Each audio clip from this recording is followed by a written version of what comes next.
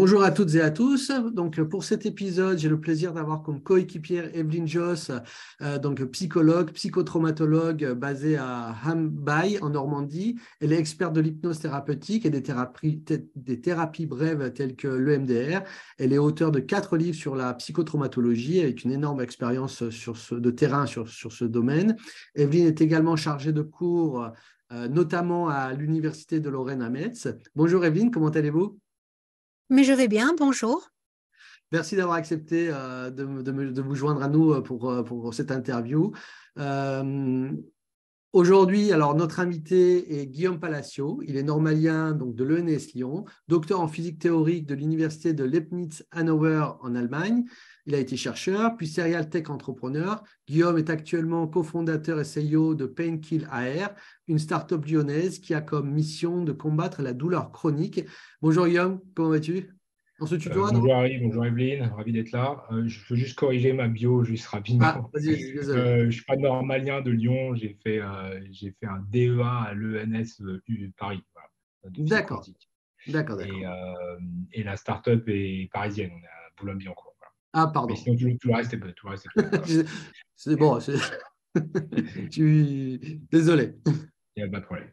Bon, alors, Guillaume. Euh... Parisien, pas lyonnais, voilà. Euh, c'est merci pour la précision. Bon, bah écoute, Guillaume, euh, euh, la, ton entretien, on va dire, on va le faire en deux, deux phases. Une partie, on va, on va un peu s'intéresser à ton parcours. Et puis la deuxième part, on parlera bien sûr de Painkiller. Est-ce que, est que ça te va? Ça me va, très bien, oui. Parfait, parfait.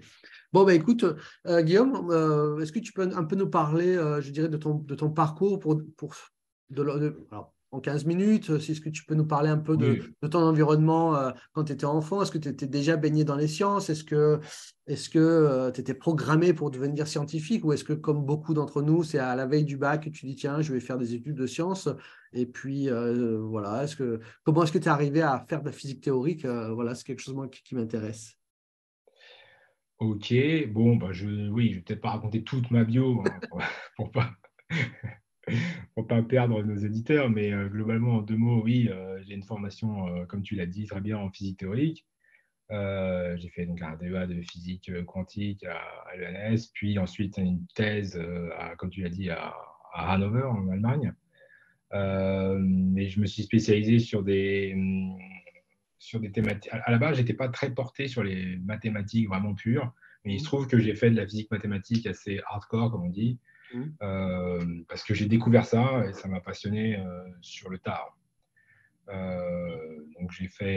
Est-ce que j'avais une prédisposition pour les sciences bah, J'ai toujours aimé les maths et la physique, oui.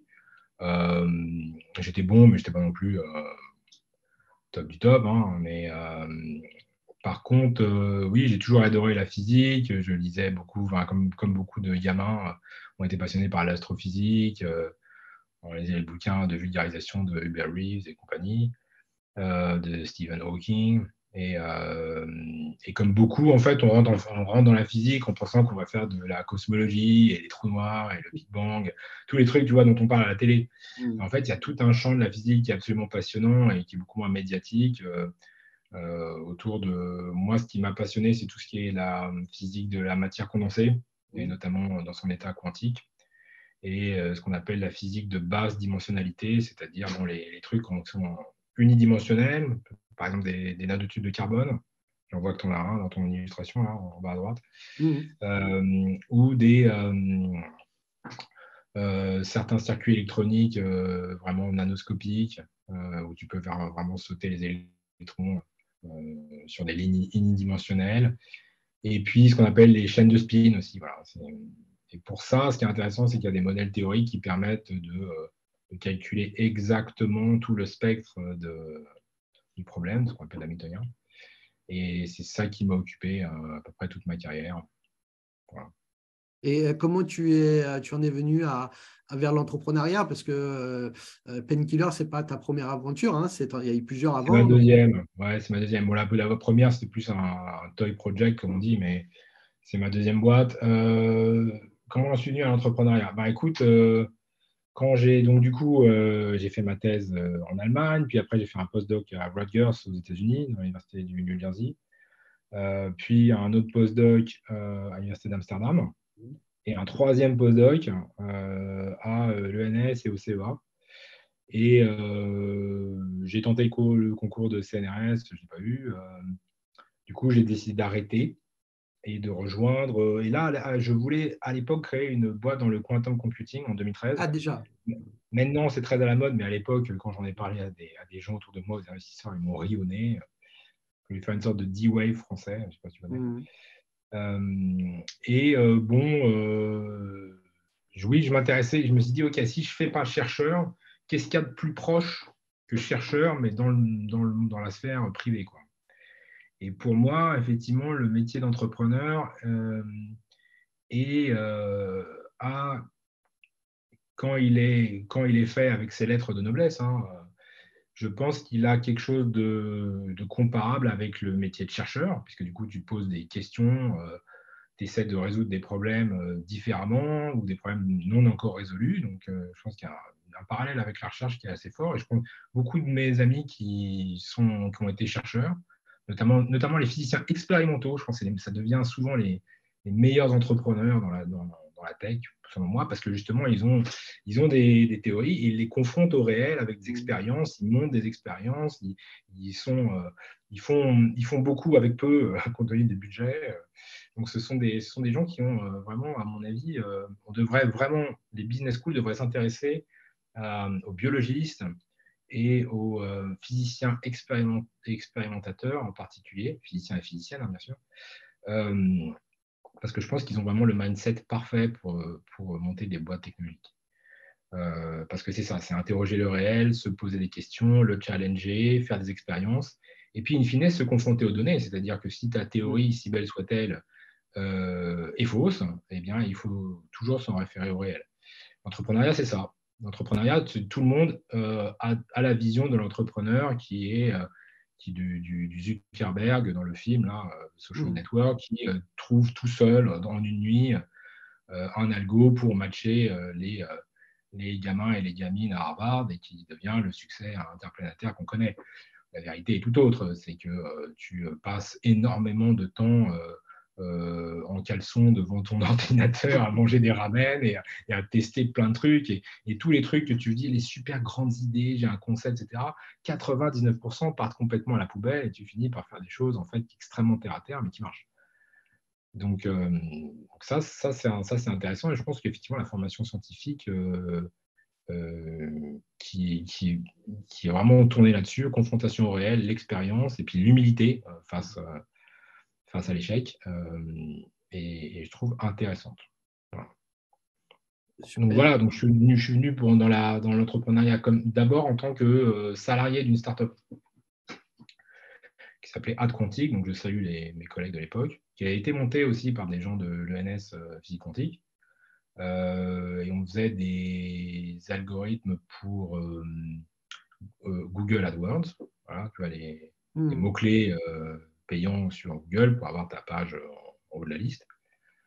Euh, et cette boîte s'est fait racheter par Criteo, qui est donc le leader mondial de, ce qu'on appelle de, oui, de la publicité en ligne. Euh, et j'ai bossé chez Criteo à la RD, je fais du machine learning, c'était très intéressant. Mais euh, moi, ce qui me passionnait, c'était plutôt tout ce qui était medtech.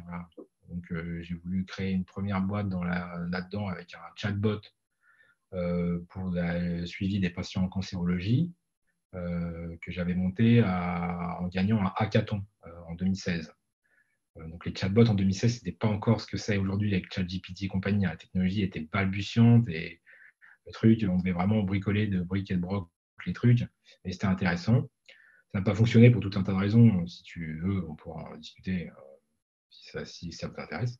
Là, là, euh, là il y, a, y, y, en a un qui, a, qui est en train de percer, là, un chatbot pour la cancéro. Le nom de mes pages m'est échappé, mais, euh, mais je, retrouverai le nom plus tard. Oui, il y en a plein. Il y en a plein Et effectivement, c'est des applications intéressantes, je pense, de la. Oui, les chatbots en médecine, c'est un truc, oui, qui m'a passionné. Je connais un petit peu. Je suis moins expert maintenant parce que j'ai lâché, mais euh, ouais, tu peux utiliser pour tout ce qui est suivi patient, tu peux utiliser pour les, pour les, pour les 2B pour qu'ils puissent euh, tu vois, accéder facilement à, cross-valider plein de bases de données, à donner des conseils, à faire du suivi de, de, prescription médicale, etc., etc. Et oui, il y a des applications très intéressantes là-dedans. certainement sous-utilisées, on verra ce que le futur nous réserve. J'ai commencé par faire ça, ça n'a pas marché pour tout un tas de raisons. essentiellement l'équipe qui s'est disloquée. C'est généralement le critère numéro un hein, mmh. d'échec d'une boîte. Euh, et après, je voulais peut-être reprendre un autre emploi, mais finalement, j'ai été rattrapé par l'entrepreneuriat. Et euh, j'ai fondé Painkiller, qui est donc euh, la boîte que j'ai aujourd'hui. j'ai cofondé avec Gershad Bouraguiman, qui je salue, mon, mon cofondateur technique. Qui est lui, qui est lui le, software, c'est ça Software C'est ça, lui, c'est lui, c'est vraiment le dev. Le, dev hein. D'accord. Dans, l'équipe. Euh, euh, c'est un, mec qui fait Centrale Nantes, qui est, qui est brillant, qui est un super dev VR, et qui fait, qui, qui, fait à lui tout seul euh, quasiment toute la technologie Painkiller. Et parce que, parce que bon, je t'en parle parce qu'il y a une vidéo qui est, qui est, disponible sur YouTube où tu avais, tu avais envoyé ton pitch à, à Angel Square qui est disponible.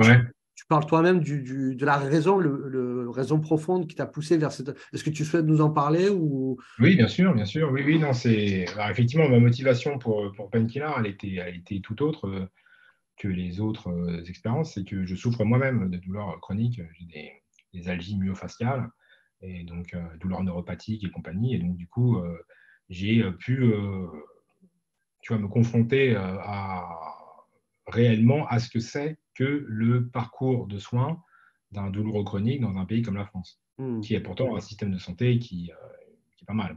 Hmm. Souvent critiqué, mais quand même pas mal. Euh, et du coup, c'est un, un, un, parcours qui est compliqué parce que euh, la douleur chronique, comme son nom l'indique, c'est une, définition de l'OMS, hein, c'est une douleur qui persiste depuis plus de six mois. Hmm. Et en général, beaucoup de gens, c'est à vie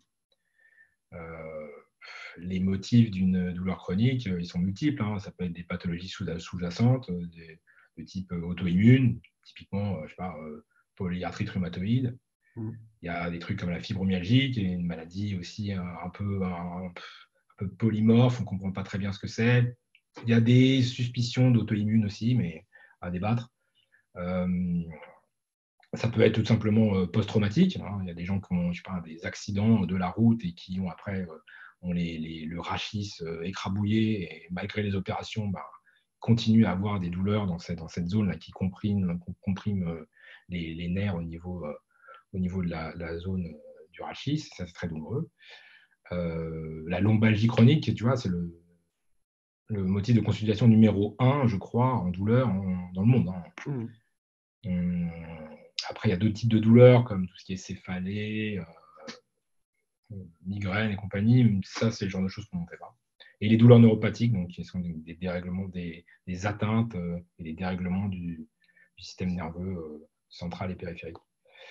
Euh, ça, pour le coup, aussi pareil, dès qu'on touche système nerveux, cerveau, bah, les limites de nos connaissances, en fait, on s'aperçoit que la médecine, là-dessus, bah, on a encore beaucoup de choses à apprendre. Voilà. Mm. Et donc,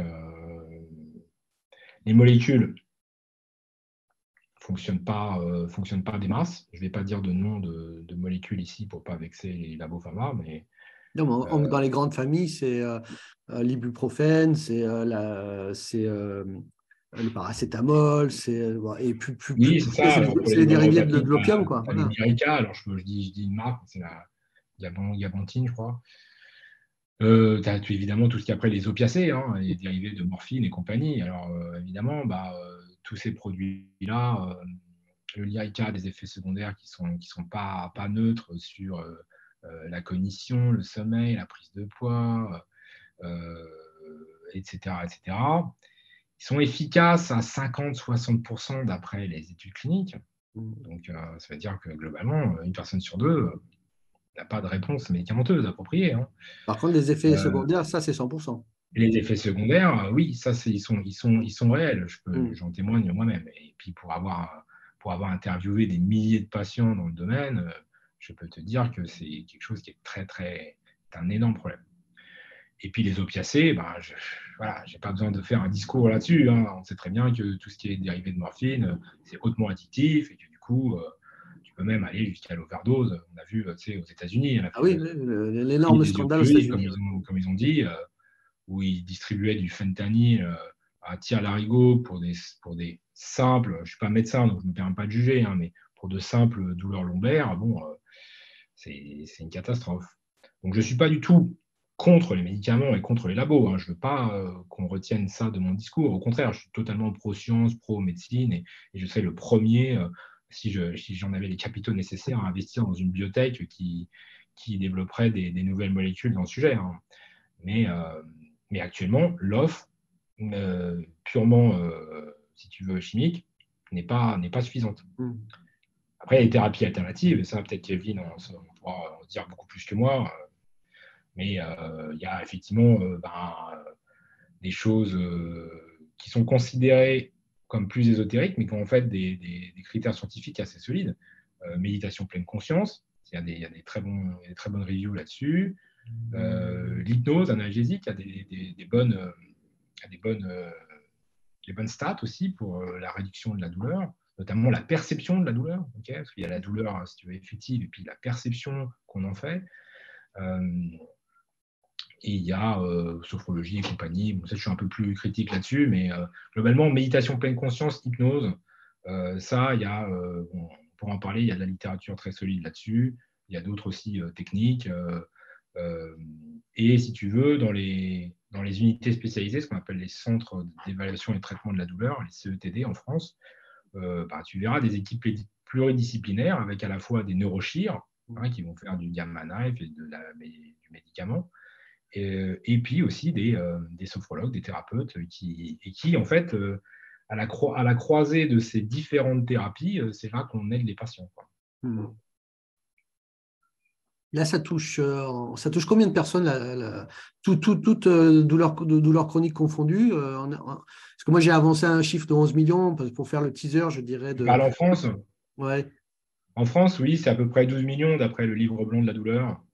Euh, donc, euh, on est, oui, c'est donc un nombre significatif. Hein. Mm. Et puis, euh, aux États-Unis, les stats aussi de, du CDC, on parle de 100 millions, donc c'est quasiment un Américain sur trois. Euh, donc c'est conséquent. C'est vraiment un, un, problème majeur. Hmm. Euh, et souvent en entrepreneuriat, on parle de pain point, quel est ton pain point, etc. Ici, le pain point, c'est pas de savoir si tu veux un t-shirt rouge ou un t-shirt vert. Hein. Hmm. C'est vraiment la douleur. Donc euh, on ne peut pas faire plus critique comme, hmm. comme enjeu.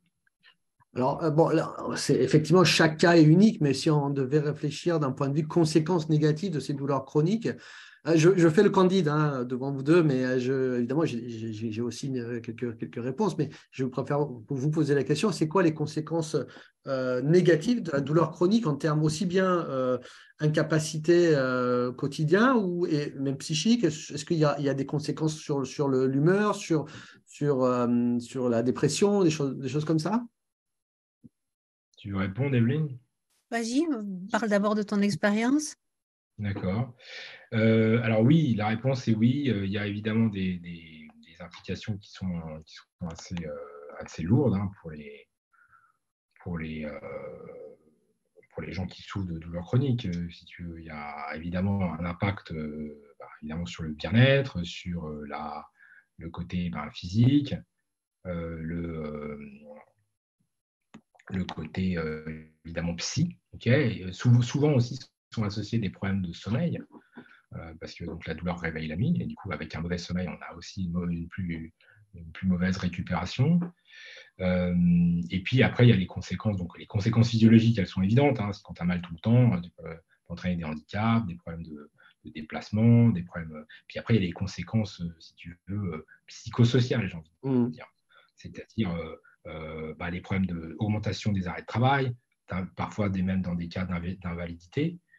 Et puis qui dit ça, bah, dit en fait on se coupe après de la, de la sphère sociale.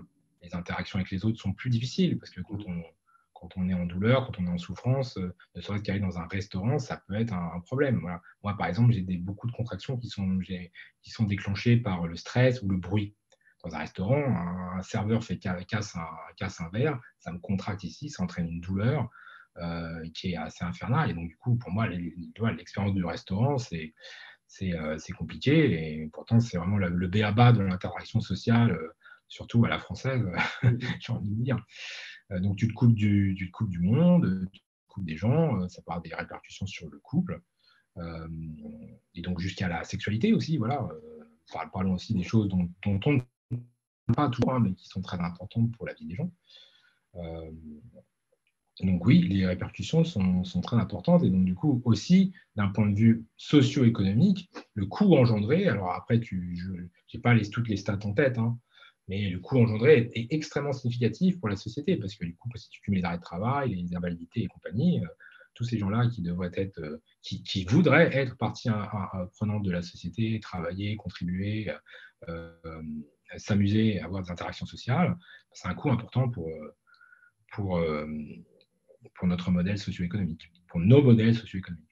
Et si tu me permets, parce que là, tu as parlé des conséquences négatives, c'est-à-dire à partir du moment où on arrête, je dirais, c'est l'après le travail, c'est-à-dire on arrête, arrête travail, on, se met en dehors de la société, entre guillemets.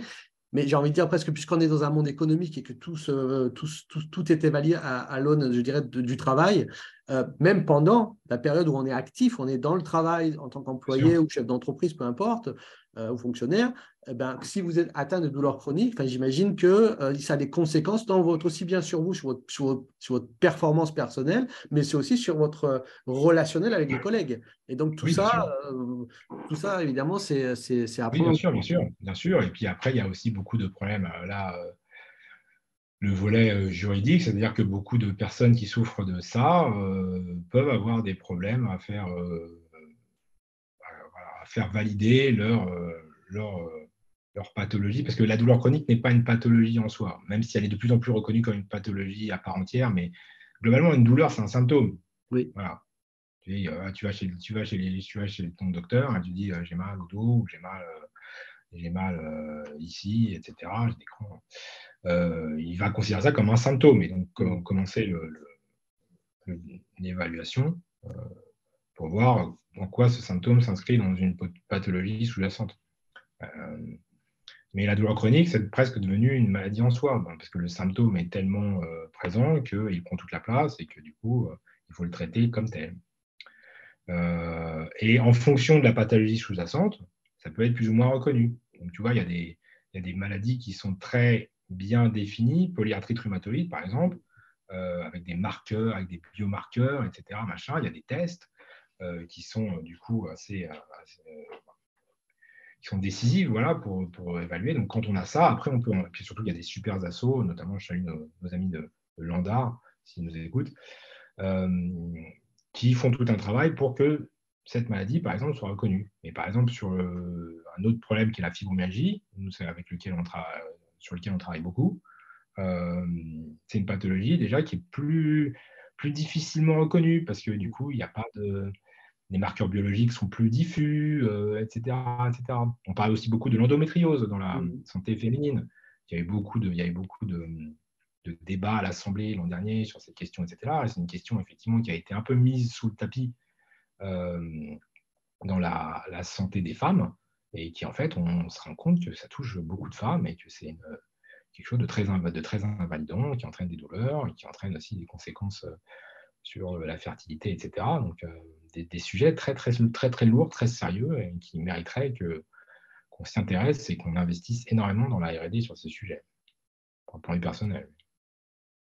Alors euh, là, là, on vient de, tu viens de montrer quelque chose de très important chez les entrepreneurs, c'est euh, euh, l'implication que l'entrepreneur a à la compréhension du problème.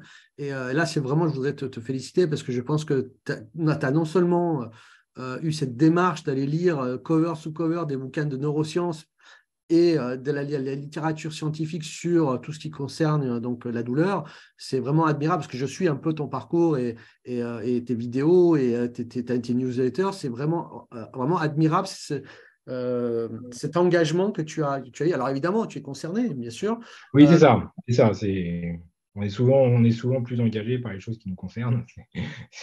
Mais le sérieux avec lequel tu, as fait les choses, c'est vraiment admirable, mais c'est aussi lié au fait que tu es un scientifique et que, quand tu t'es intéressé au sujet, tu l'as fait comme un scientifique le ferait, c'est-à-dire tu es allé voir euh, la science, l'état de l'art, mais et aussi la recherche. Et ça, c'est vraiment admirable.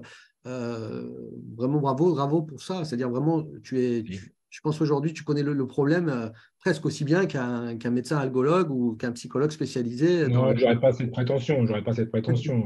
nous, nous, on est, nous, on est des techniciens. Mmh.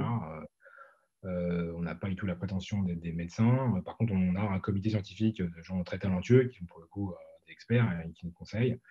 Euh, mais effectivement, on fait ce travail intellectuel, je pense, qui est, absolument essentiel, de se tenir au courant de ce qui se fait dans la littérature scientifique sur ces sujets, que ce soit évidemment dans les thérapies qu'on appelle digitales, ce dont on va parler, mais aussi les nouvelles molécules, les, nouvelles, les nouveaux biomarqueurs et compagnie. C'est un tout, comme je le disais. Mmh. Euh, les, nouvelles psychothérapies, voilà, qui peuvent. Euh, euh, il y a par exemple des nouvelles psychothérapies qui apparaissent tout le temps hein, avec des, des, psychologues brillants qui inventent des nouveaux protocoles qui marchent mieux que les anciens, etc. Donc, il faut se tenir, comme tu dis, au courant de ce qui se fait.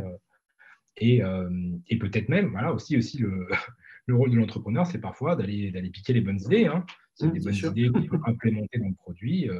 c'est souvent mais il faut aller piquer les idées qui marchent, qui sont validées. Parce qu'évidemment, dans la douleur aussi, ça je tiens à le souligner, c'est qu'il y a beaucoup malheureusement de fake med. Mm. On rappelle les, médecines, les médecines euh, tu vois, avec des gens qui font des trucs, des, trucs euh, à base de, je sais pas, je veux pas, je veux pas commenter parce que chaque, euh, mais il peut y avoir beaucoup de fake news, beaucoup de fake med.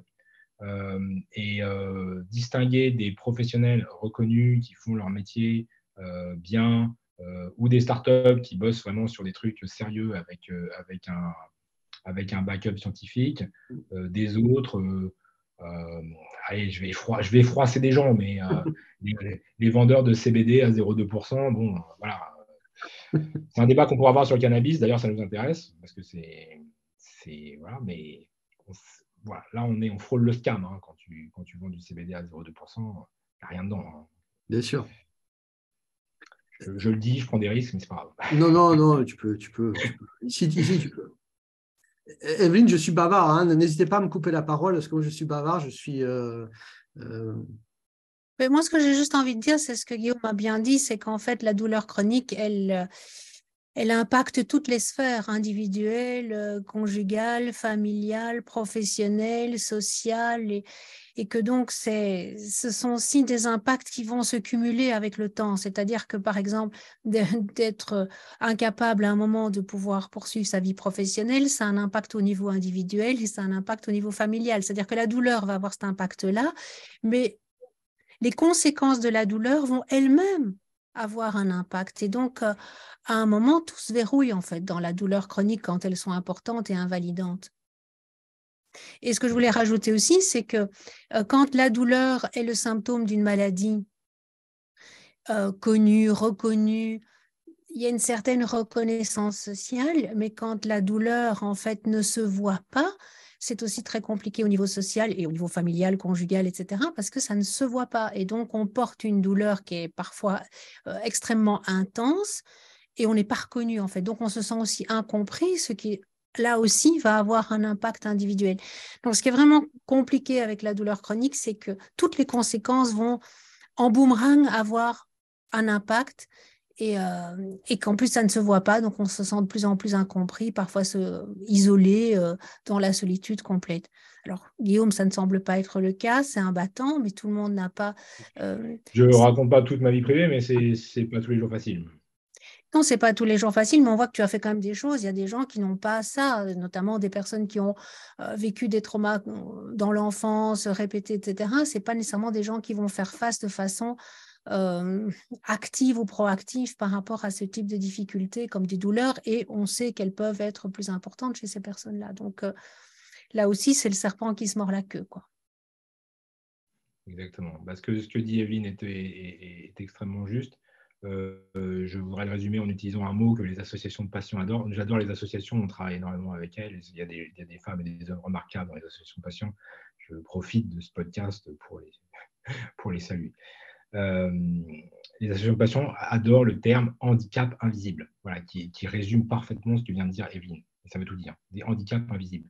Quand quelqu'un, effectivement, euh, arrive, dans un, arrive dans un bus et qu'il est en chaise roulante, le, pauvre, euh, ça se voit qu'effectivement, il a des problèmes de motricité, le pauvre. Donc, si normalement, tu es, un humain à peu près bien câblé, s'il le demande, évidemment, tu peux l'aider.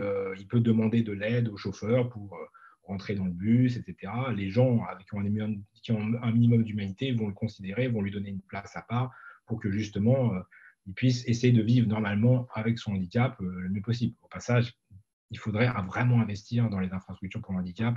Aussi, pareil, je, fais aussi des messages politiques tant que j'y suis, euh, parce que c'est très important.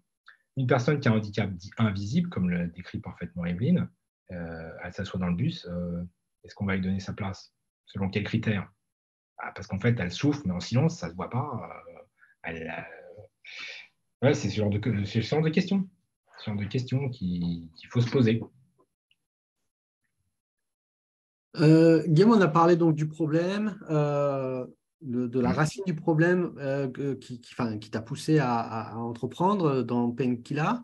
Et maintenant, justement, est-ce qu'on peut, est qu'on peut basculer sur la germination de l'idée, pour, pourquoi cette idée-là en particulier? Donc, je te laisserai nous l'expliquer.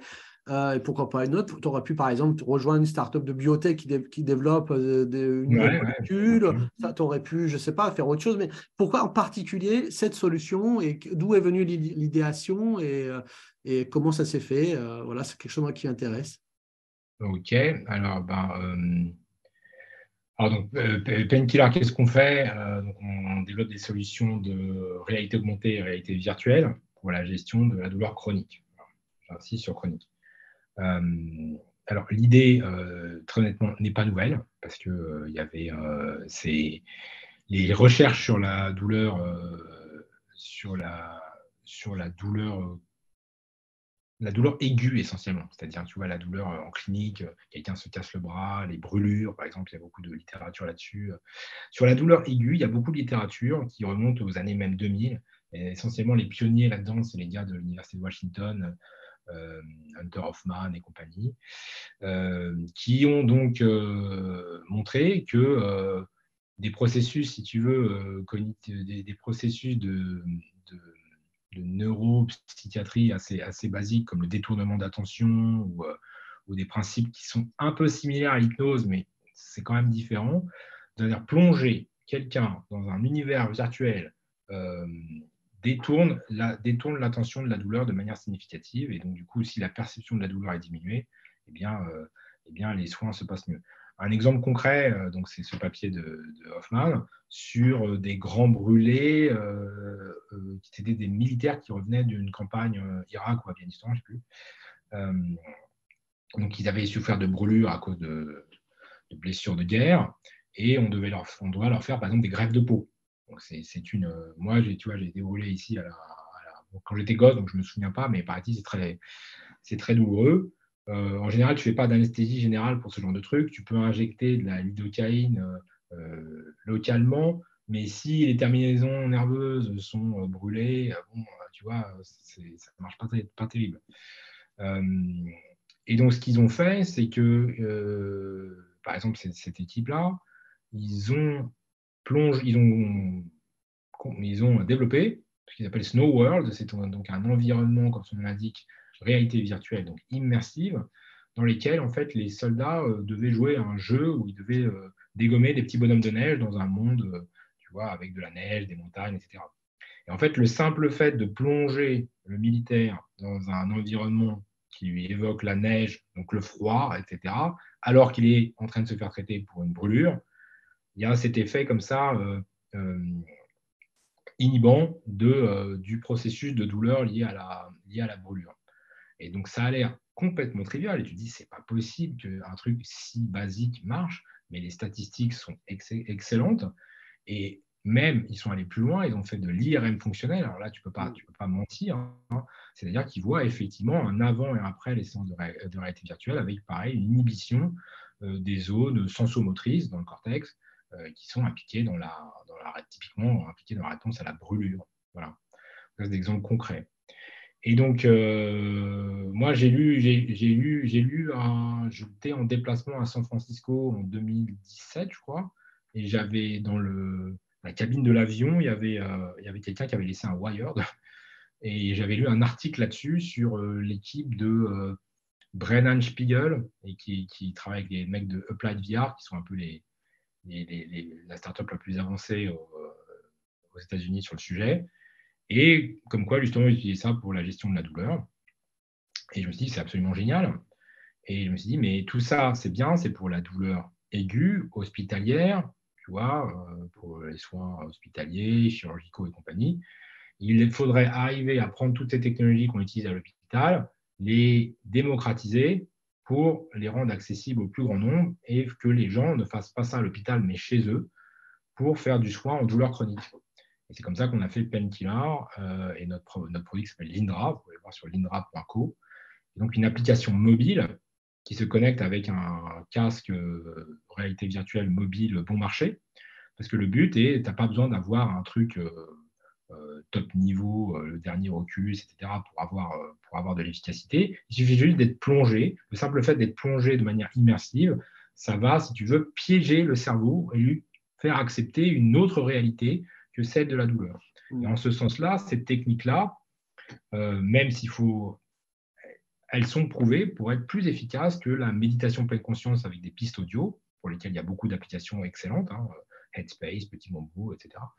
Euh, ou que euh, l'hypnose traditionnelle, qui est, très efficace, mais qui demande un entraînement, soit des thérapeutes extrêmement compétents et bien formés, euh, particulièrement sur la douleur. Il n'y en a pas beaucoup. Hein. Il y a beaucoup d'hypnothérapeutes qui font d'autres choses, euh, gestion du stress, euh, arrêt du tabagisme, etc. Mais des gens qui sont formés sur la douleur, il n'y en a pas tant que ça. Et, si tu veux faire de l'auto-hypnose, bah, très honnêtement, pour avoir discuté avec des patients, avoir été à des tables rondes, avoir été moi-même à des tables rondes de patients en tant que patient moi-même, tu discutes avec tes collègues d'à côté, tu arrives à faire les séances d'auto-hypnose que l'infirmière te dit non, j'y arrive pas, à chaque fois je suis bloqué, à chaque fois je pense à autre chose. C'est bon. Alors que là, tu mets un casque, bing bing, les écouteurs, c'est euh, l'hypnose pour les nuls, hein, j'ai envie de dire. Ça marche. Tu es, dedans. Quoi. D'ailleurs, les stats sont très bonnes.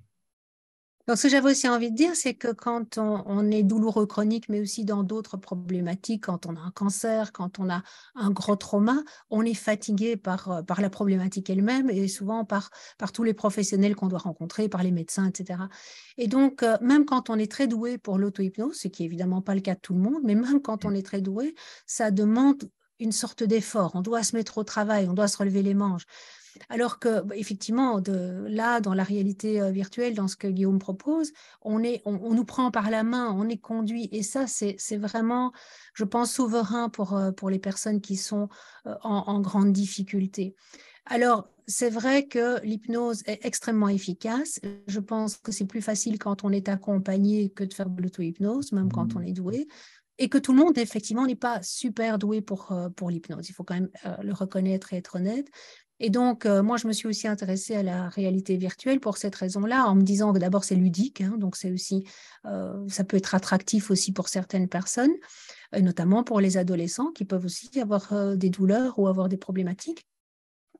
Euh, et, en plus, bah, ça rend l'hypnose plus forte parce que quelque part, on, va, on peut faire un accompagnement en hypnose, mais avec euh, les images, alors qu'on sait que un grand nombre d'entre nous, nous sommes visuels. Hein, donc, la, la, vision est très importante. Donc, de s'imaginer voir ou de voir, il y a quand même une différence. C'est plus, plus facile en voyant effectivement les choses. On, s'immerge beaucoup plus facilement. Donc, je trouve que euh, c'est vraiment une chouette appli euh, de ce que j'ai pu en voir. Hein. J'ai été voir sur ton site, euh, Guillaume, enfin sur les, vidéos.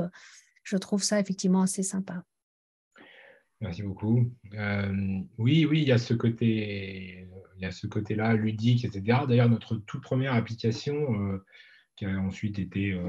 Est-ce qu'on a été les premiers ou est-ce qu'on a été copié Je ne sais pas. Tout le monde copie tout le monde là-dedans, dans ce, mais j'ai aucun problème avec ça. Euh, ça a été dans le domaine euh, effectivement des la pédiatrie, les soins en pédiatrie, tu vois les, soins, dits douloureux en pédiatrie, les prises de sang, les ponctions lombaires, etc. on avait travaillé avec des hôpitaux et des, groupes de, labos d'analyse médicale pour justement détourner l'attention des enfants pendant des prises de sang, etc. c'était notre premier succès commercial d'ailleurs. On a arrêté parce que notre focus, c'est vraiment la douleur, euh, chronique.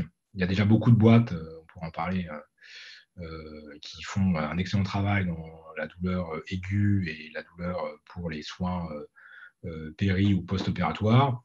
Et nous, on ne veut pas rentrer là-dedans parce qu'il y a déjà d'excellents compétiteurs euh, sur le sujet notre focus, c'est vraiment la douleur chronique, c'est vraiment notre, sujet numéro un. C'est beaucoup plus difficile parce que, parce que effectivement, détourner l'attention de la douleur d'une piqûre ou euh, avant une coloscopie, j'en sais rien, euh, entre guillemets, la, la, science, elle est, solide et elle est facile. Je dis entre guillemets, hein, parce que c'est quand même techniquement balèze. La douleur chronique, étant donné que c'est un sujet qui est beaucoup plus complexe, qui a des, euh, ramifications, à mon avis, dans la plasticité cérébrale et compagnie, euh, euh, bah, comme toutes, toutes ces techniques-là que décrit Evelyne, ce sont des techniques qui marchent quand elles sont faites régulièrement. Et donc, c'est pour ça l'intérêt du ludique, l'intérêt de, quelque chose que tu as envie de faire tous les jours, etc. Euh, et, même ça, c'est pas évident. Hein. Nous, on a, des, on a des, utilisateurs qui sont très actifs, qui font ça vraiment régulièrement et qui ont des très bons résultats au bout de 3 ou 6 mois. Mais euh, penser que tu vas mettre un cas de réalité virtuelle ou tout simplement euh, télécharger une application de méditation ou d'auto-hypnose et que tu vas gérer ta douleur chronique du jour au lendemain, c'est complètement fou. Il faut vraiment inculquer ça aux, patients, que c'est un travail, que nous, on leur offre des outils, mmh. exactement comme les thérapeutes. Euh, offre des outils. Si tu vas consulter Evelyne, elle va, elle, va, te donner des clés, elle va te donner des outils, elle va t'apprendre des techniques. Mais si tu ne les, appropries pas toi et que tu n'en fais pas une routine pour essayer, de, manière combative, pour essayer d'aller mieux, ça ne marchera pas. Mais effectivement, moi déjà aussi, hein, je, donne des enregistrements parce qu'effectivement, je demande un travail à la maison, hein, je demande effectivement que ce soit régulier. Et tu as raison, avec les connexions au niveau du cerveau, au niveau des émotions euh, euh, qui sont aussi activées dans la douleur euh, chronique. Et donc, moi, je donne des enregistrements et je demande d'écouter les enregistrements entre les séances. Ça ne suffit pas, effectivement, de venir même une fois par semaine chez un thérapeute pour des douleurs chroniques. Ce n'est pas suffisant. Exactement. Moi, moi, je compare ça un peu avec l'apprentissage du piano. Tu peux avoir un super prof, tu pourrais avoir Rachmaninoff comme prof de piano. Euh, si tu vas une fois par semaine, comme dit Evelyne, euh, mais qu'entre-temps, tu déchiffres pas les partitions chez toi, tu ne vas pas progresser. Hmm. Tu as aussi des, collaborations avec, euh, avec des cliniciens hein, à l'hôpital. Hein, oui, pour nous, c'est très important. c'est même fondamental. C'est ce, qui, ce qui établit notre crédibilité technico-scientifique.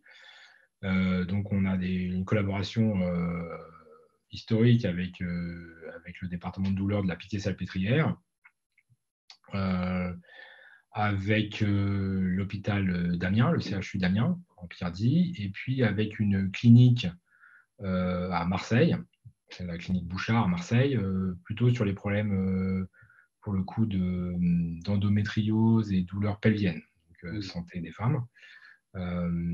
Et puis, euh, on a lancé en octobre dernier un partenariat avec euh, la maison euh, Gocha Lekou, qui est une structure associative pour la prise en charge de soins alternatifs pour les, pour les patients, des soins complémentaires, j'ai envie de dire plutôt, pour les gens souffrant de cancer. Voilà, c'est un, sujet qui me passionne et me touche de près également donc là, c'est des euh, collaborations de type, euh, de type, euh, c'est des essais. Hein, alors nous, notre, alors je devrais peut-être pas le dire parce que si nos concurrents nous écoutent, ils vont, tomber de leur chaise. Mais nous, notre politique jusqu'à présent, je ne sais pas si on changera un jour, mais est que nos collaborations avec le milieu hospitalier, notamment le milieu CHU universitaire, public, etc., ou le monde associatif, et que nous donnons à disposition notre technologie totalement gratuitement, parce que nous euh, estimons que euh, voilà, les patients en soins cancérologiques euh, ne devraient pas payer pour ça. Mhm. ce qui pose problème, le problème de notre modèle économique, qui est en fait un problème de, de modèle économique où les, les, gens qui souffrent de douleurs chroniques doivent payer un abonnement chez nous. Et ça, on peut en discuter, c'est problématique, notamment en France. Quoi où euh, les gens voient la santé comme étant quelque chose de gratuit. Et effectivement, la plupart des, des, boîtes MedTech, notamment dans notre créneau, sont des boîtes B2B euh, euh, qui vont vendre des licences ou voire même du hardware, des packages hardware plus licence à des, hôpitaux et des cliniques. quand nous, on essaie d'approcher le marché directement B2C, ce qui est, ce qui est difficile, il ne faut pas se cacher. Mais mm. on est persuadé que c'est le bon angle. Euh, donc, au niveau, euh, parce que là, nous, on est, on est entre gens qui avertis, mais peut-être que des personnes qui nous écoutent qui ne savent pas trop comment ça fonctionne. Euh, alors, moi, je l'ai essayé, j'ai des petites douleurs chroniques, alors rien, rien de comparable avec, avec les cas que tu as cités, mais donc, moi, moi, moi je n'ai pas de casque de, réalité virtuelle, mais je sais que tu peux en fournir. parce qu'en fait, c'est vraiment le modèle très simple où on peut insérer. Oui, oui, oui. On a un... Ce n'est pas l'Oculus de, qui coûte 300, 300 euros. Oui, exactement. Alors, euh, alors c'est dommage parce que là, en fait, il se trouve que euh, aujourd'hui, pour des raisons de, pour des raisons d'agenda, je suis chez ma cousine et pas dans mes bureaux parce que sinon, je vous aurais montré, mais on pourra, je pourrais t'envoyer des photos, etc. Non, mais il y a ta chaîne YouTube, je peux sinon, je montre ça normalement sur. Donc effectivement, on a, on a développé exactement parce qu'on a des considérations économiques au plus proche des patients. On veut quelque chose de pas cher c'est aux alentours de 10 euros par mois, et euh, avec un, donc qui fonctionne sur mobile. Pour l'instant, Android, la version Apple est toujours euh, à l'essai, elle est plus problématique. Euh, et que tu connectes ça avec un casque, donc ce qu'on appelle un casque mobile. Alors, c'est plus trop à la mode, mais moi, je trouve que c'est très bien pour ce qu'on fait. Et justement, c'est très économique. On travaille notamment avec une boîte française dont je vais faire la pub qui s'appelle Omido, euh, ce sont des, des, Lillois, ils sont super et je trouve que leur casque est, très bien pour ce qu'on fait. Euh, euh, excuse-moi de, te poser la question, ils, le vendent à combien? Alors le Omido Prime, il me semble qu'il est à 69,99 retail. D'accord. Là, c'est par, par, patriotisme ou parce que quand tu regardes sur AliExpress, tu peux avoir des casques de, avec ces modèles d'insertion à 3 euros. Hein, euh. Tout à fait. Alors non, c'est pas par. Enfin, c'est, on aime bien les gars de Omido et on soutient la. Alors, je suis pas très label French Tech, etc. Tous ces clubs là qui qui servent pas à grand chose, soyons honnêtes. Mais, euh, mais on soutient évidemment les entrepreneurs, les entrepreneurs français, mais indépendamment du, de la fibre patriotique, euh, c'est que tout simplement, je pense que c'est le meilleur du marché. Donc les modèles qu'on trouve à 3 effectivement, les, on, a, on, a, commencé les trucs à 10 euros euh, euh, sur euh, effectivement Alibaba et, et c'est la qualité, et, tu vois, ça, ça, ça, ça, fait mal au nez, ça pèse, etc. Donc le confort du coup est dégradé et bon, ça donne une expérience qui est, qui est moins bonne et du coup ça, nous, comme on ne développe pas le hardware, on ne développe que du software, hein, beaucoup de gens disent Ah, bah, c'est vous qui faites les casques. Non, nous, on ne fait pas les casques, on boîte de software. Euh, mais effectivement, on a un software qui doit fonctionner sur un certain type de hardware pour avoir la réalité virtuelle. Exactement comme un éditeur de jeux vidéo comme euh, Ubisoft, euh, ben, il fait des versions pour PC et pour PlayStation. Ce n'est pas lui qui fabrique la PlayStation. Nous, on est, on est pareil. On est le Ubisoft de la VR thérapeutique, si vous voulez. on aimerait. on ambitionnerait. Alors justement, si, si, je peux moi apporter ma petite, euh, ma petite contribution, un petit témoignage, micro-témoignage de, de, l'essai de l'INDRA, parce que c'est l'application. Euh, alors moi, au moment où je vous parle, là, je suis en face d'un écran assez grand, euh, puisque c'est mon écran de travail, qui ça doit être un, 22 pouces, je pense, donc mais il est assez loin. Donc j'éteins la lumière, donc je ne suis pas en, réalité virtuelle, hein. je suis dans, dans, dans, une immersion noire, puisque dans mon bureau est noir l'écran est, au fond à peu près à 3 mètres, avec un écran assez grand. Et ça, a super bien fonctionné, puisque j'étais vraiment étonné de voir que juste même dans ces conditions minimales, puisque ce n'est pas l'optimum par rapport à ce que tu préconises, euh, mes petites douleurs chroniques euh, que j'ai au niveau du cou de mon passé de sportif euh, font que... Bah, alors justement, donc ça marche, ça marche très bien, même, même comme ça, de façon minimaliste. Et j'étais vraiment étonné.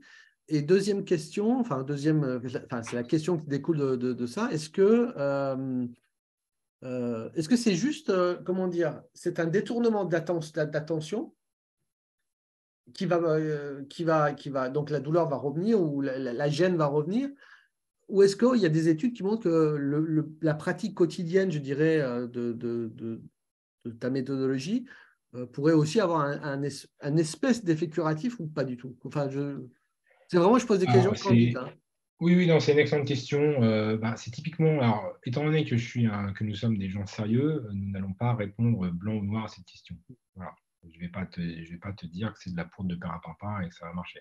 Déjà, d'après nos propres statistiques, l'efficacité, elle est élevée, elle n'est pas à 100%. Mhm. Euh, elle est aux alentours de 70% dans nos études internes.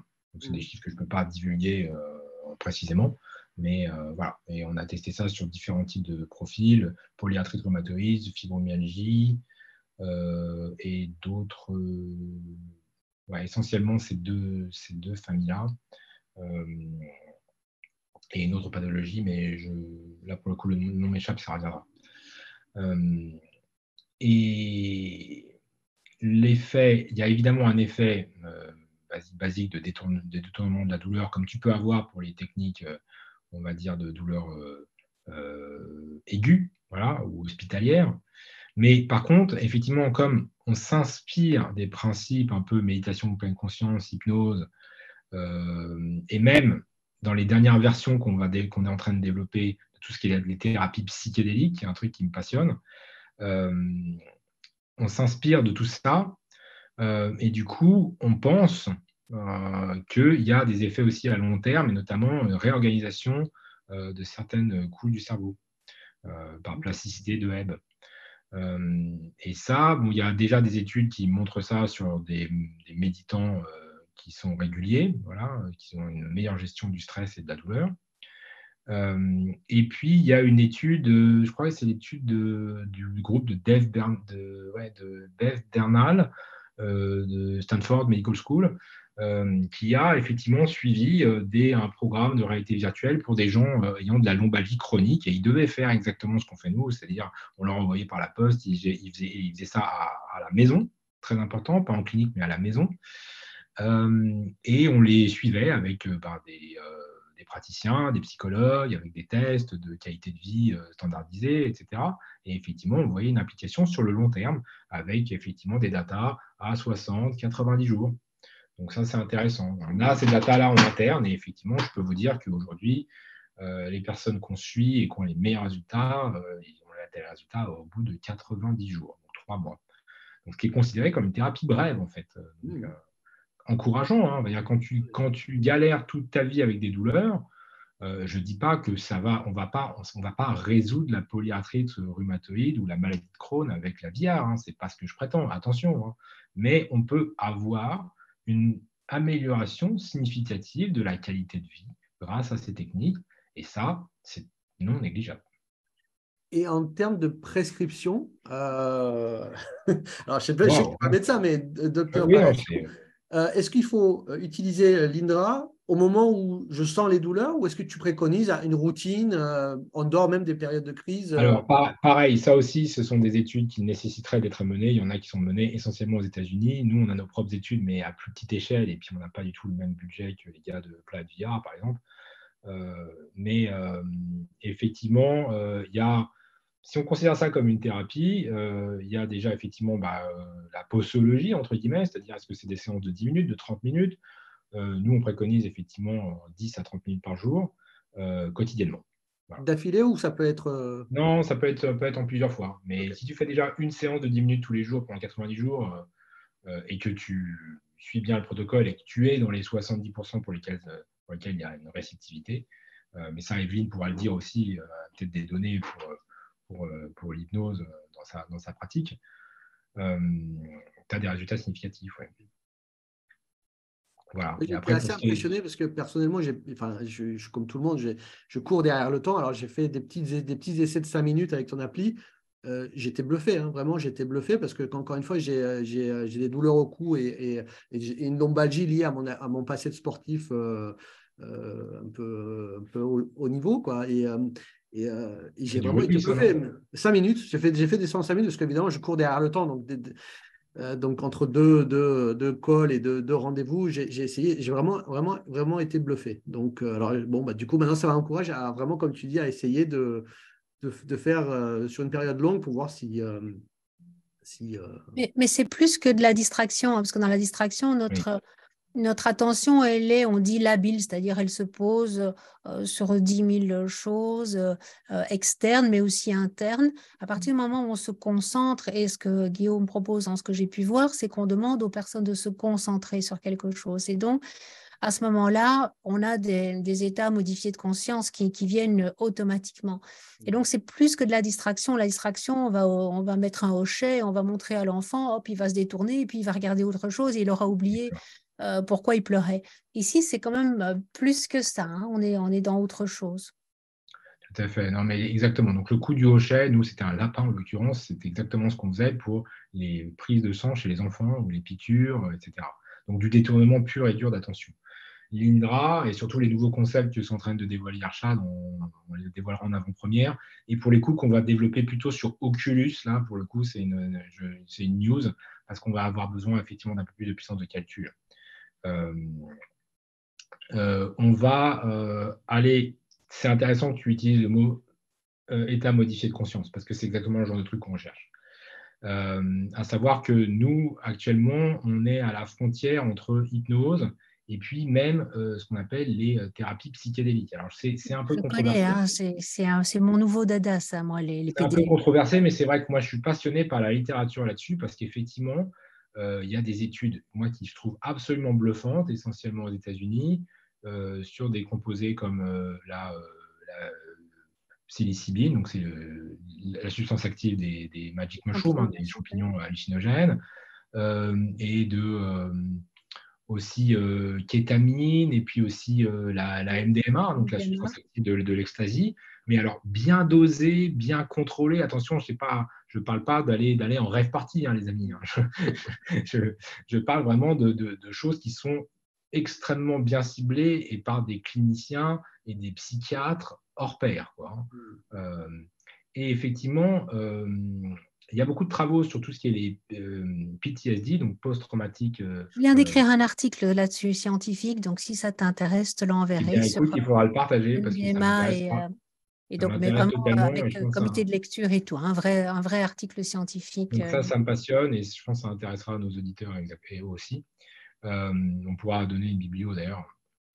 Mais euh, pour tout ce qui est les troubles tu vois, post-traumatiques, etc., ils ont des, bons, des, bonnes statistiques et, ils ont des, pour tout ce qui est aussi dépression, longue durée. là, on parle de douleur chronique, mais on voit qu'en fait, nos techniques peuvent aussi euh, déborder sur le champ de la psy en général.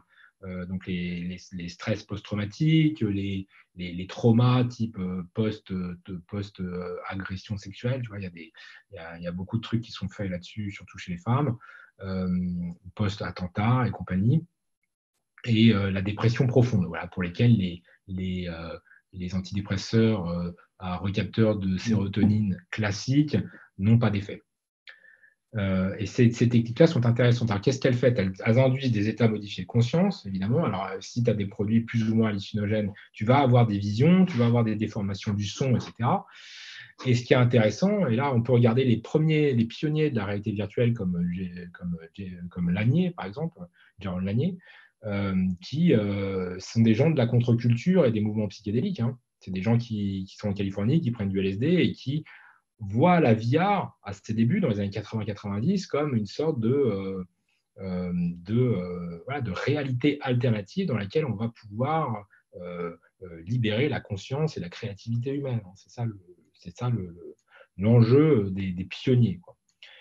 avant que ça devienne métaverse. Mais l'enjeu au départ est beaucoup plus noble et beaucoup plus extension de la conscience humaine. Si tu vas par là, l'utilisation de ces techniques-là en thérapie, ben, tu pourrais, et on y travaille, je vous enverrai des démos, développer des environnements psychédéliques qui évoluent en fonction du comportement et voire même de l'humeur du, patient. Tout ça, je ne décris pas parce que c'est top secret.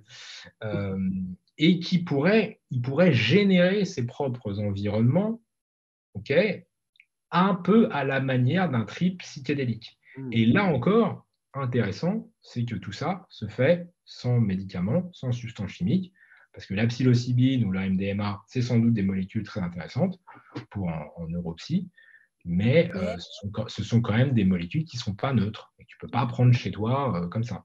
même si certains les prennent euh, en boîte de nuit le samedi, mais c'est chacun son affaire. Mais, mais si tu veux utiliser ça dans un cadre sérieux thérapeutique, voilà, on trouve que la VR peut être une porte d'entrée très intéressante et encore une fois, euh, alternative à la chimie.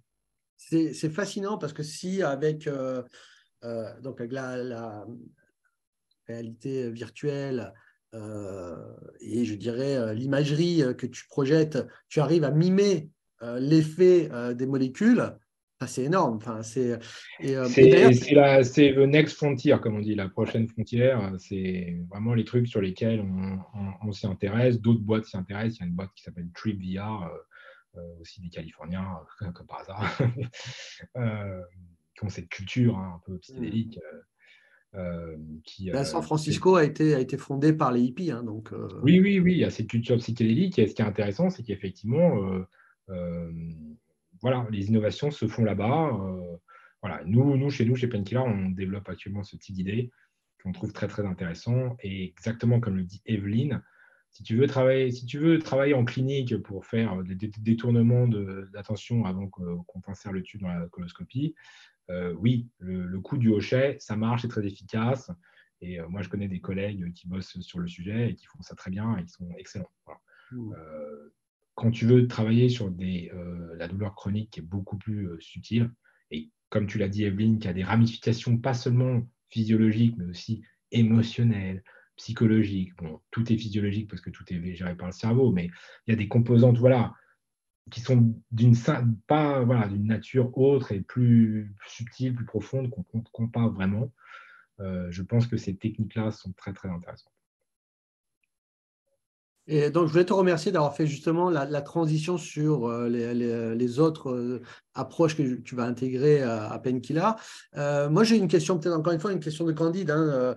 on parle souvent en ce moment de l'EMDR. Est-ce que c'est quelque chose, Emeline, que tu penses qu'on peut intégrer dans, dans les solutions de Penkilla ou c'est hors sujet? Alors, les, les puristes te diront que c'est un protocole, le MDR. Ce qui semble être vraiment efficace dans le MDR, c'est les stimulations bilatérales alternées. Il y a d'ailleurs une dame qui a pu prouver ça avec des souris. Les souris n'ont pas vraiment la même psychologie que nous et on ne peut pas leur parler. Et le protocole, elles s'en foutent un peu en fait. Et juste les stimulations bilatérales, après les avoir traumatisées, c'est très facile de traumatiser une souris et c'est très facile de voir si elle est traumatisée ou pas hein, par son comportement. Eh bien, ça, ça se passe à Marseille, hein, ces études-là, et on a pu montrer effectivement que les simulations bilatérales alternées avaient cet impact hein, d'aller contre le trauma. Donc, c'est clair qu'il y a des possibilités notamment ben, de faire regarder à gauche ou à droite alternativement très rapidement sur, sur l'écran, mais aussi au niveau des sons, hein, d'avoir des sons mmh alternatifs d'une oreille à l'autre. Euh, et donc, il y a moyen effectivement euh, d'inclure dans d'autres techniques des situations bilatérales alternées. Euh, dans les sons, est-ce que vous faites référence à, ce qu'on appelle les binaural beats? Parce que j'ai vu aussi que. Est-ce que ça n'a rien à voir Non, ce n'est pas ça, mais ça, ça peut évidemment être aussi tout à fait intéressant. Donc ça, c'est une autre chose, mais autre chose qui peut être aussi utile. Donc, ce qu'on appelle les stimulations bilatérales alternées, ça peut être en fait n'importe quel son hein, qu'on met dans une oreille et puis après, euh, ça s'arrête là et ça vient là et, donc c'est alternatif. Donc, ce n'est pas la qualité du son qui compte, c'est le fait que ce qui est stimulé alternativement, c'est une oreille et puis l'autre. Mmh. Mais effectivement, on peut euh, rajouter encore d'autres technologies comme les, euh, les sons binauraux, etc. Et concernant les sons binauraux, c'est, ça marche? Parce que c'est quelque chose de, solide ou euh, que j'ai à peine regardé la, biblio, mais c'est euh, comme, comme, comme l'INRA s'accompagne aussi de. D'ailleurs, j'avais posé la question, euh, Guillaume, est-ce que, est -ce que la musique qui accompagne l'INRA est quelque chose qui est pensé ou c'est juste un accompagnement? Non, elle est pensée. Alors, je... il y a beaucoup de musiques qui ont été composées par mon frère, Hugo Palacios, donc je, salue ici, qui ont été vraiment pensées pour effectivement être euh, de l'ambiance, mais bien, bien pensé, bien travaillé. On n'a pas pris des trucs, tu vois, de, catalogue, euh, genre euh, Zen, Zen Bar et compagnie. Non, non, il faut, faut vraiment respecter l'utilisateur. Il faut vraiment travailler sur de la musique pensée, avec. voilà, il faut en fait, si tu veux, l'expérience, ça doit pas être, ça doit pas être du divertissement. Hmm. C'est pas un jeu vidéo, ok? Hmm. C'est pas un jeu vidéo et du coup, beaucoup de personnes ne comprennent pas. Elles disent votre truc, pardonnez-moi l'expression, votre truc c'est chiant. Hmm. ok? Mais ouais, mais c'est c'est pas c'est pas un divertissement, c'est un vrai travail de lâcher prise, de focus, de concentration et de lâcher prise. Et c'est vraiment à, l'intersection entre ces deux-là. Donc un programme bien pensé, à mon avis, est un programme qui est suffisamment captivant pour attirer l'attention et vraiment être immersif. Et le côté musique et son est très important. c'est vrai que nous, c'est peut-être un truc qu'on doit travailler un peu plus, l'aspect spatialisation du son, 3D et compagnie. Ça, c'est très intéressant. C'est vraiment des trucs qui sont dans notre, dans notre to-do list. Euh, donc, c'est suffisamment captivant pour accrocher et suffisamment euh, chiant, si je peux me permettre, pour justement ne pas être un jeu vidéo et ne pas justement à tourner tout la tête, à dégommer des, aliens à droite à gauche. Euh, c'est quelque chose d'une nature différente. Exactement comme tu vois la méditation pleine conscience, si tu veux, il y a plein de gars qui font des apps et il y en a qui cartonnent, hein, qui sont même des billions de dollars compagnies comme Headspace. Si tu écoutes le truc, c'est bien fait. Je suis moi-même client Headspace, c'est une, boîte que, j'admire, qui est très bien conçue, etc. L'app est très bien, très bien designée, mais globalement, c'est pas toujours la même chose. Hein. Hmm. C'est euh, euh, focus your attention on your breath, euh, etc. Concentre-toi sur ta respiration les body scans et compagnie, c'est toujours les mêmes techniques. Et c'est effectivement assez monotone. Le gars, il parle lentement, il y a d'énormes pauses, il y a des blancs de 10 minutes, parce que c'est un travail que tu dois faire pour toi. Ce sont, comme le disait parfaitement Evelyne, et je, je, me réapproprie euh, euh, son terme, ce sont des guides. Ce, sont des guides. Ce sont, des rails, mais le train, c'est toi qui dois avancer. Mmh. Le côté euh, binaural beats, on n'a pas d'idée sur la question parce que c'est pareil. Donc c'est controversé, savoir si ça marche pas. Par contre, le son spatialisé, ça c'est très important pour l'immersion. Euh, le son, dans un, c'est vrai dans VR, mais c'est vrai aussi dans un jeu vidéo. Je discutais avec des amis qui bossent euh, dans, un grand studio de jeux vidéo, dont je ne citerai pas le nom, mais dans leur jeu vidéo premium, euh, le côté immersion dans l'expérience quand tu fais des trucs de shooting dans la guerre et compagnie, le son a une place prépondérante. Il faut vraiment être dedans. Ça, c'est dans l'accompagnement, mais par exemple, si, enfin, je, veux dire du son qui, qui a à voir avec ce qu'on voit, mais euh, par exemple, on parlait des psychédéliques, euh, les, bandes sonores euh, sont très importantes hein, dans la ah thérapie qui sont accompagnées par psychédéliques. Donc en fait, on prend le psychédélique et puis une fois qu'on est sous substance, il y a, on met un casque avec, avec de la musique qui est pensée, étudiée, etc. Donc la musique, elle est, elle est très importante aussi par rapport à, à tout ce qui est état de conscience modifié. Donc effectivement, c'est plus immersif si les bruits, comme tu dis, les bruits de la guerre et on voit la guerre, mais c'est aussi, euh, voilà, c'est quelque chose qui se passe avec la musique. C'est quelque chose d'important chez nous. Euh, et euh, oui, les expériences psychédéliques que tu décris, il y a un sujet. Pour, pour, pour, celles et ceux qui ne veulent pas se taper la littérature Harry dans psychiatrie sur le sujet, je conseille un excellent documentaire Netflix qui s'appelle Aux frontières de la pensée. Aux frontières de l'esprit. Aux frontières de l'esprit, ou en, en, anglais, je ne sais plus le, nom en VO, euh, d'un journaliste du New York Times qui avait écrit un best-seller. Michael Pollan, oui. Merci beaucoup, Evelyne, de rafraîchir ma mémoire. Euh, donc euh, voilà, je, conseille à tout le monde d'aller voir ce, reportage fascinant où justement il, il va voir l'utilisation des psychédéliques dans le milieu, dans le champ thérapeutique. Et c'est passionnant, c'est extrêmement bien fait, extrêmement documenté. voilà, Michael Pollan, merci beaucoup sur, sur Netflix. On arrive un petit peu à la fin de notre entretien. Euh, est-ce que quel est, aujourd'hui le, je dirais le, le, momentum, je dirais pour Penkila Est-ce que tu as des challenges euh, en termes de, en termes business, en termes de levée de fonds, en termes de recrutement ou en termes de mmh. développement Où est-ce que tu en es et qu'est-ce que, qu'est-ce que va être la, suite? Bah, on avait entamé une levée de fonds en 2022 euh, qui a été retardée pour des problèmes plutôt euh, personnel des, des, des, fondateurs, notamment moi. Euh, donc on va reprendre euh, en 2023. Là actuellement, notre focus, il est plutôt sur le, comme je te dis, le développement de ce produit psychédélique qui me mmh. paraît vraiment peut-être un game changer. et passer sur Oculus, ce qui implique évidemment euh, qu'on va plutôt s'attaquer au marché américain et asiatique parce que la pénétration de, du Oculus en France, notamment dans les populations qu'on qu'on adresse, hein, c'est-à-dire euh, les douloureux chroniques et compagnie, elle est très faible. C'est malheureux, c'est malheureux, mais c'est comme ça. Et puis, on ne va pas faire de package avec Oculus intégré et compagnie. Les gens devront s'équiper exactement comme si tu veux jouer au nouveau Call of Duty, que tu veux la tu vas tu vas t'acheter ta PlayStation, ou si tu veux la dernière application à la mode, bah, tu vas t'acheter un iPhone. Hmm. Bah, on pense qu'effectivement, les gens devraient s'équiper en VR. La VR, c'est vrai que le metaverse a eu un espèce d'énorme boom en 2020-2021 avec le, plan tu vois, de Zuckerberg. Et ça fait un peu plouf euh, aujourd'hui en 2023 parce qu'on parle plutôt de generative AI et d'autres technologies. Euh, je suis persuadé qu'effectivement, le metaverse pour mettre ton antenne Carrefour dans le metaverse, ça n'a aucun intérêt.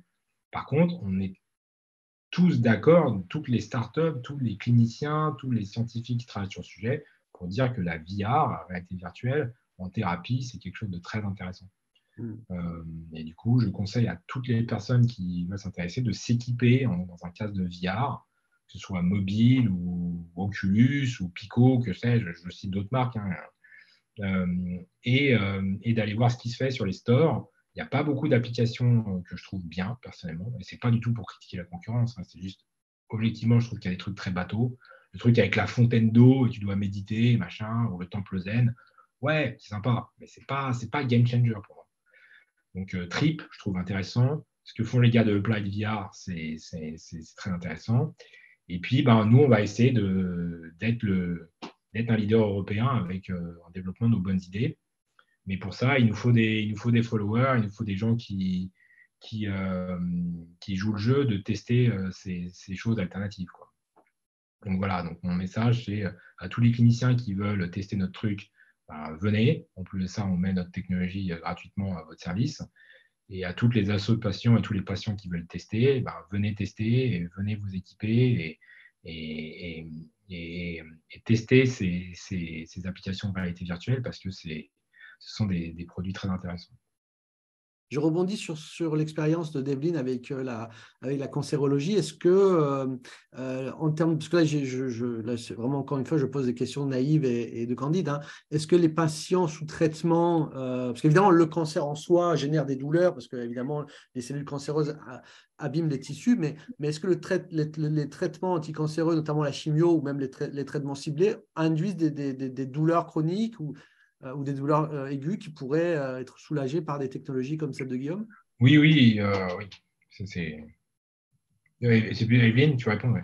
Oui, il y a des, il y a des, des, chimiothérapies qui attaquent les nerfs et donc qui donnent des, des, neuropathies. on a un syndrome bien connu qui s'appelle le syndrome pied-main et donc main-pied, mais donc on a des brûlures à la paume des mains et, et la paume des pieds. Donc oui, il y a des douleurs dans, dans la chimio.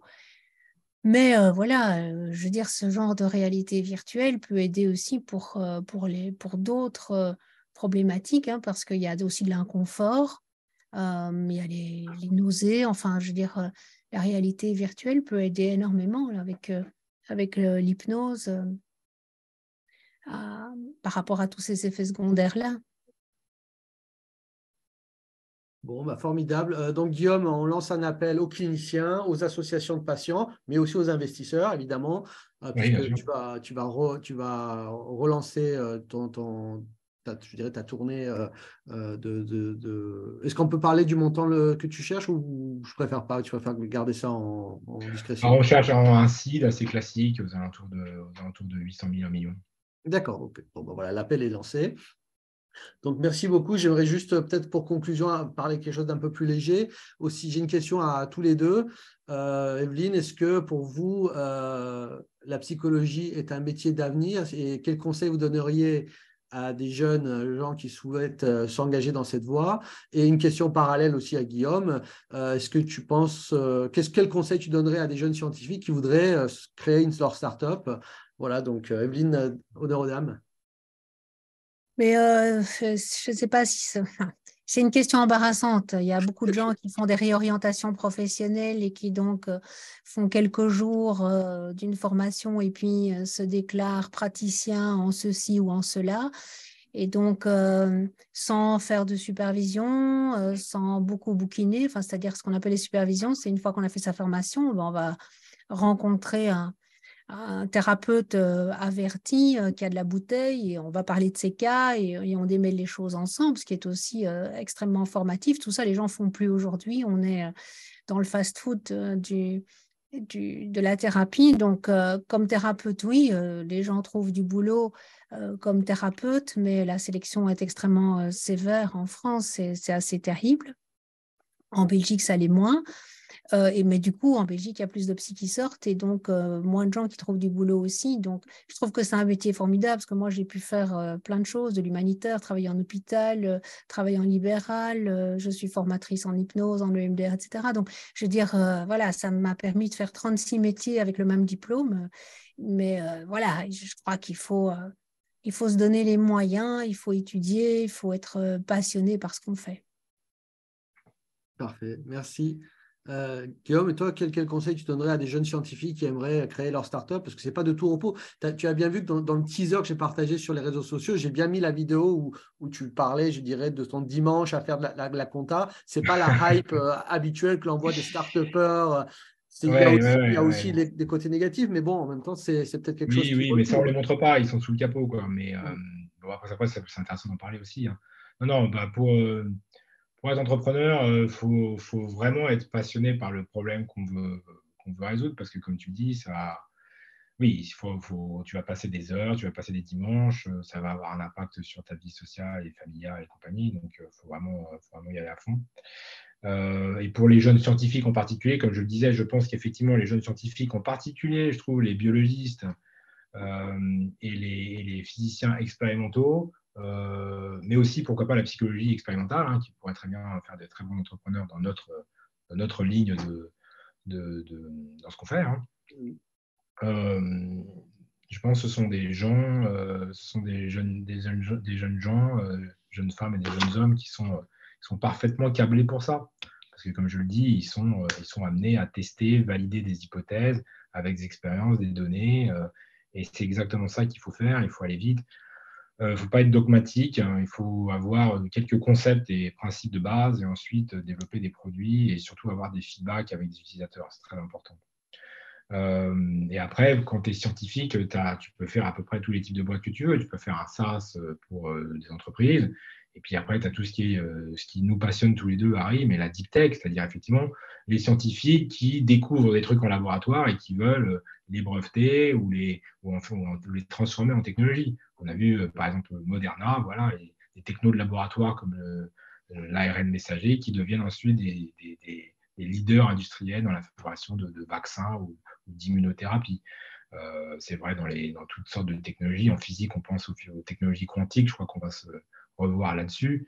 Euh, et, voilà, mais il y a de l'innovation scientifique dans tous les domaines. évidemment, on, on, parle de biotech, on parle de sciences physiques et communication. Mais nous, ce qu'on fait, d'une certaine manière, c'est un peu de l'innovation en psychologie expérimentale. Hein. Euh, et, si tu veux, rétrospectivement, j'ai même pensé l'idée de repasser un PhD sur le sujet, mais bon, c'est un peu trop long. mais euh, on, serait, on, serait, ravis de travailler avec des psychologues expérimentalistes sur ces sujets, parce que c'est une démarche scientifique et technique. Et, voilà, il faut se lancer et euh, pas avoir peur de l'échec et euh, être prêt à, s'investir. Et puis si ça ne marche pas, c'est pas grave, on ferme, on rebondit, on refait de la recherche, on refait une boîte. Le tout, c'est d'être euh, passionné. Voilà. Pas faire une boîte parce que tu dis ah, j'ai une super idée, c'est génial. Tout le monde a une super idée. Tout le monde a la même idée que toi. Nous, dans la VR, on n'est pas les seuls. On, a juste une approche originale, mais on n'est pas les seuls, on n'est pas les meilleurs. Donc euh, l'idée, ça ne vaut pas grand-chose. c'est la motivation, l'exécution qui prime. Euh, la détermination. Et puis, euh, et puis euh, c'est ça, la, volonté de faire extra mile, le truc en plus, quoi, que les autres ne vont pas faire. Et ça, je pense qu'un scientifique, un scientifique est câblé pour faire ça. Quoi. Absolument. Je rebondis sur, sur ton expérience d'entrepreneur, de la physique théorique à aujourd'hui donc le software, mais aussi par extension le hardware, puisque, puisque c'est pour consommer, j'ai envie de dire, ton contenu, il, mmh. faut, il faut à minimum avoir un, écran d'ordinateur ou un, smartphone ou euh, le mettre sur le, sur, sur le, sur le visage, le casque. Euh, et, et, aussi la psychologie, évidemment, c'est la transdisciplinarité qui manque souvent quand on est chercheur dans une discipline scientifique où on va passer toute sa vie à travailler sur telle protéine ou tel sujet ou telle équation mathématique.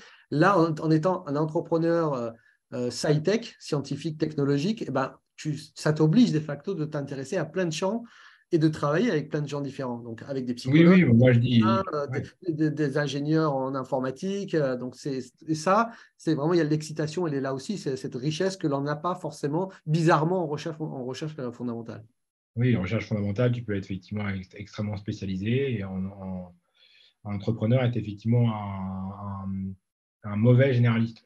Mmh. C'est-à-dire qu'en fait, il, touche à tout, mais il ne maîtrise pas tout à 100%. Euh, donc, euh, il faut apprendre à avoir cet état d'esprit-là. Et puis, euh, et puis, il faut avoir le goût de, se former en continu. ça, c'est vrai dans toutes les disciplines. Evelyne, je pense, ne me contradira pas. Il faut, se former tout le temps parce que, en particulier quand tu travailles dans la techno, la techno de 2016 n'est pas celle de 2023. Si tu n'es pas à la page, tu es, has been. Donc se former tout le temps, se challenger, c'est et c'est pour ça que je dis, comme je te le dis, l'esprit scientifique, je pense, c'est tout à fait adapté à l'entrepreneuriat. Euh, peut-être même, plus, peut même plus que les business schools, mais bon, ça, je ne vais pas créer de débat. mais tu as besoin des gens du business school aussi. Hein. Merci infiniment à tous les deux. J'ai vraiment abusé de votre temps, puisque là, on a largement dépassé le temps à partir. Ah oui, non, mais c'était passionnant. Et, euh, et puis, c'était vraiment un vrai, vrai plaisir de vous avoir tous les deux pour cet échange croisé. Euh, donc, merci infiniment. Je mettrai évidemment tous les liens euh, euh, dans, l'article de blog et, dans, les, dans, les, partages sur les réseaux sociaux. Donc, ceux qui nous écoutent par uniquement audio, bah, il faudra venir sur le site, vous aurez tous les liens. Donc, merci infiniment et je vous dis à très bientôt, j'espère. Merci, à vous deux. Merci Harry.